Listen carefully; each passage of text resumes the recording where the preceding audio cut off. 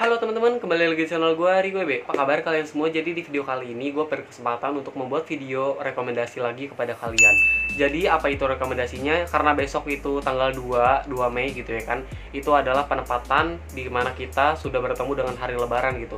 Maka dari itu di sini gue pengen mencoba merekomendasikan kepada kalian brand lokal yang dipakai untuk lebaran gitu ya kan.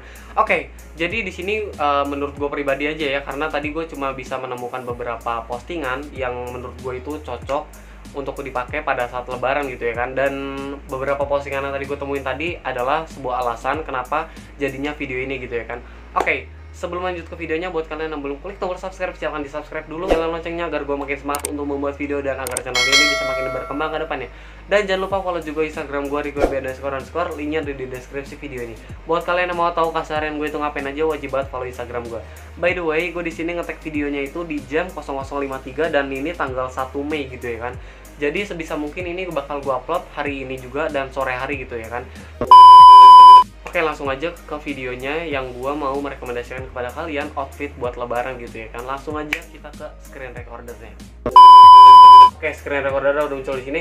Nah, di sini gue pengen merekomendasikan beberapa brand lokal kepada kalian yang cocok dipakai pada saat lebaran maupun hari-hari biasa gitu ya kan. Karena hari-hari biasa pun kalian Jun tuh juga sholat gitu ya kan. Nah, di sini gue pengen merekomendasikannya kepada kalian. Oke, kita langsung aja ke artikel pertamanya. Di sini itu ada dari brand Dreambirds. Nah, ini untuk baju kokonya yang atas itu warna putih dan yang bawah itu warna hitam gitu ya kan.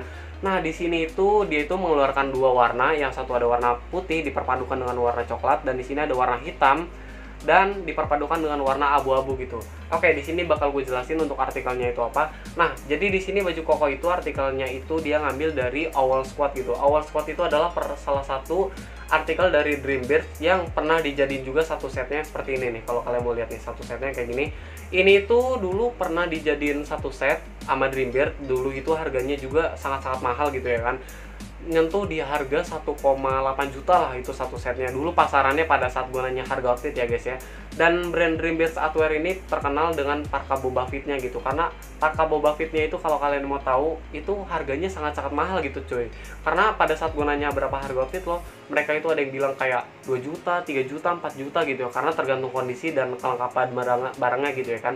Karena parka Boba Fit itu setahu gue dia itu barang limited edition yang cuma dijual 100 pieces kalau nggak salah ya. Nah, untuk penampakan bajunya itu seperti ini.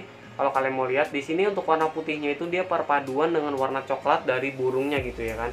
Kalau menurut gua sih untuk warna putihnya dia itu terkesan lebih simpel ya kalau menurut gua karena identik banget karena kalau misalkan kalian lebaran gitu rata-rata pakai baju putih ya. Kalau menurut gue sih ini cocok banget tapi kalau misalkan baju putih itu terkenal dengan gampang kotornya gitu. Dan terkenal juga kalau misalkan kalian keringetan itu kayak bisa nyeplok juga ya. Cuma gue nggak tahu ini bahannya mungkin kalau dari Dreambird ini mungkin bahannya sudah lebih diperhatiin lagi karena ya harganya juga mahal gitu ya kan.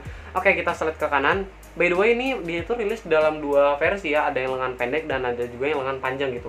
Ini untuk penampakan yang lengan pendeknya dan yang sebelah kanannya ini yang lengan panjang. Nggak ada bedanya sih cuma di bagian lengan doang. Oke kita slide ke bagian kanan lagi. Di sini ada warna hitam. Kalau menurut gue sih untuk warna hitam ini terlihat lebih cocok dan lebih bagus gitu ya kan? Karena terlihat lebih monokrom banget gak sih? Dan terlihat lebih simple elegan gitu. Dan gua paling suka itu warna hitam apalagi diperpaduin dengan warna abu-abu kayak gini. Karena cocok banget sih kalau menurut gua. Karena burung hantu itu kan bersifat warna abu-abu gak sih kalau menurut gua? Nah ini cocok banget buat kalian yang pecinta burung hantu gitu ya kan Oke, di sini untuk warna hitamnya kalau menurut gua sih, sepenglihatan gue ya, ini terlihat cocok banget sih kalau misalkan ini gue pakai. Asli dah warna hitamnya emang nggak ada obat sih kalau Dreambirds yang ngeluarin gitu. Karena emang dari dulu Dreambirds itu kalau ngeluarin artikel dia tuh nggak pernah gagal gitu. Selalu diperhatiin kualitasnya dan juga selalu diperhatiin bahan-bahannya gitu yang apa aja yang dipakai. Oke, ini dia pada saat dipakainya itu seperti ini. Nah, kalau menurut gue sih baju koko warna hitam memang cocok sih kalau misalkan dipakai di kulit yang warna hitam putih karena emang lebih terlihat apa ya kalau warna hitam tuh terlihat terlihat lebih aman lah kalau dipakai di manusia gitu. Karena emang dia tuh apa ya mencocok-cocokkan untuk diri kita gitu. Kalau kalau misalkan pakai baju pakai baju warna hitam itu terlihat lebih simpel sih kalau gue terlihat lebih elegan juga. Karena ya gitu ide untuk baju warna putihnya itu kalau dipakai itu seperti ini kalau menurut gue baju warna putih ini cocok juga tapi tergantung orangnya juga sih nggak combine dengan cara apa gitu ya kan. Oke buat kalian yang mau dapetin baju ini baju koko Dreambirds ini kalian bisa langsung aja follow instagram Dreambirds Aswear linknya di, di deskripsi video ini.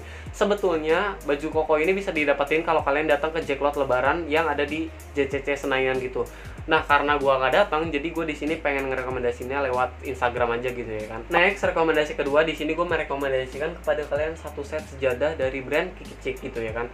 Kikicik ini adalah salah satu brand lokal dari Jawa Tengah gitu ya kan, yang pernah gue review juga hoodie-nya di YouTube channel gue. Nah, di sini gue pengen merekomendasikan kepada kalian sejadah gitu ya kan. Sejadah ini kan kalian bisa pakai juga buat sholat gitu ya kan.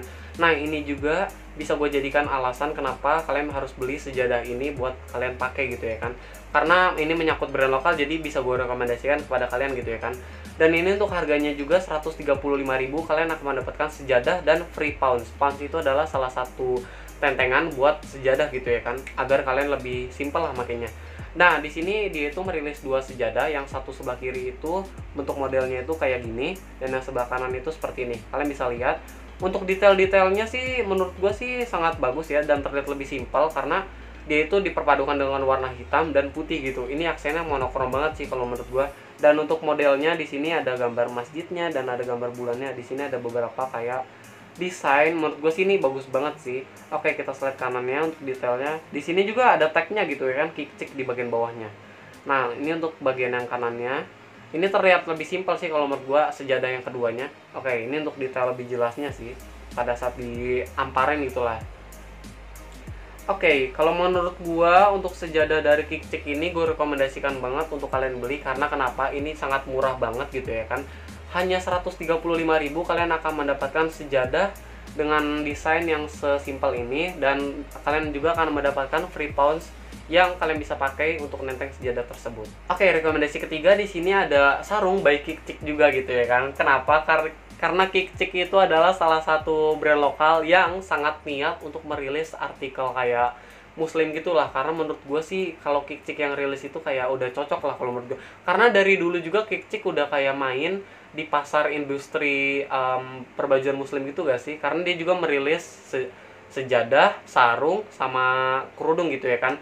Oke, di sini gue pengen merekomendasikan kepada kalian untuk sarungnya gitu. Untuk sarung di sini harganya 189.000 atau bisa dibilang 190.000 lah ya. Untuk modelnya itu seperti ini. Di sini itu ada dua warna ya, yang satu warna hitam bercampur dengan warna gold. Di sini juga ada yang warna hitam bercampur dengan warna ini berwarna apa ya oh, ini terlihat warna navy sih sebetulnya oke okay.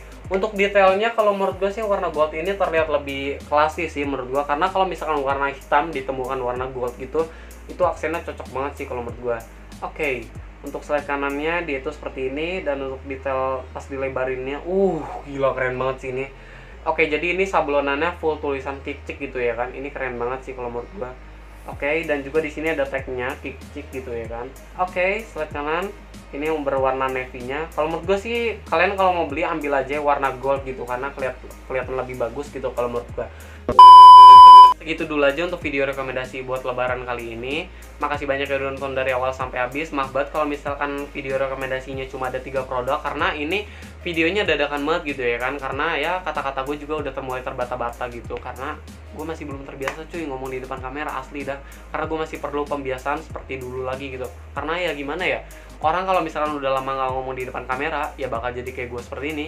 Ini video kalau misalkan kalian tahu ini tuh berdurasi hampir 30 menit lebih kalau misalkan belum gue cut gitu.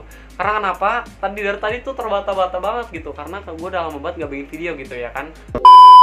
Guys mungkin itu aja untuk video beberapa rekomendasi outfit buat lebaran yang bisa kalian beli gitu ya kan. Maaf banget kalau misalkan gue itu cuma bisa ngerekomendasikan tiga produk doang gitu. Buat kalian yang mau beli produk tersebut linknya udah gue cantumin di deskripsi video ini. Makasih banyak ya udah nonton dari awal sampai habis. Gue Rigo pamit sampai jumpa lagi di video selanjutnya. Dadah